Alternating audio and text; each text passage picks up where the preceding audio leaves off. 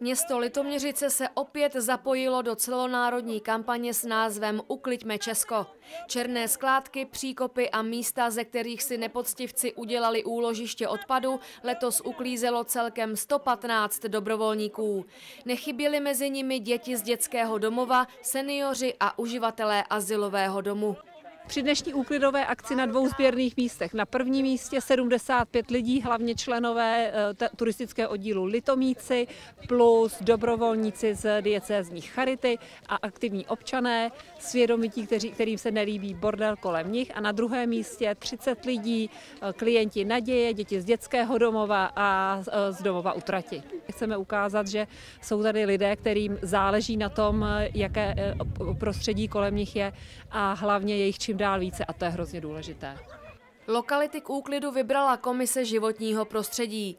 Letos dobrovolníci odpadků zbavili například cesty od ulice Kamícká k dolu Richard a prostor za garážemi u mateřské školy na Cihelně. Úklidové akce se zúčastnila i zastupitelka města Olga Kubelková, kterou množství nalezeného odpadu trochu zaskočilo.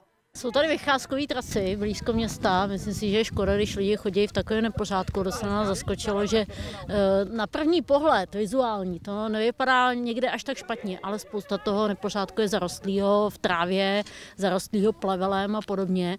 Takže teprve, když se do toho člověk dostane, tak začne tahat prostě poloplný petláhve. Našli jsme televize, lyže, foťák, eh, varnou konvici po částech a podobně. Takže eh, vlastně ten kontejner je ze tří čtvrtin už plný plnej. Černé skládky obsahovaly kromě běžného odpadu také řadu překvapivých kuriozit. Mezi vyhozenými předměty dobrovolníci našli mimo jiné i elektrospotřebiče a komponenty počítačů. Našli jsme eh, pneumatiky, pak jsme našli myš od počítače, eh, tu závoru, mm, mm, botu porostlou mechem a takovéhle věci. Dobrovolnická úklidová akce nakonec Litoměřice zbavila dvou plných kontejnerů odpadu. Jako poděkování byla pro všechny účastníky úklidu posléze připravena ukázka výcviku psů celní zprávy, která nadchla zejména děti. Já jsem z ekoškoly, takže já, my jsme jakoby to, že uklízíme město a to jsme v to zapojení. Já jsem tady za turistický oddíl mládeže Litomíky. Nás je tady celkově 76, toho Litomíku nás je tady kolem 40, přes 40.